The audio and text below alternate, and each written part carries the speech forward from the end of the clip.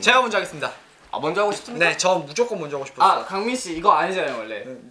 이거 계획대로. 해야죠 계획. 계획대로 되고 저요 저요스로 가야 돼요. 다시 오케이 여러분 오케이. 돌마무 돌마무. 아, 돌아- 어, 어, 혹시 무슨 일? 그 플레이리스트 소개할 사람이 필요한데 누구 먼저 소개하고 싶은 먼저 사람이 저요 저요. 아, 제가 먼저 하고 싶습니다. 고고고 오고고. 제가 이게 초등학교 6학년 때 네.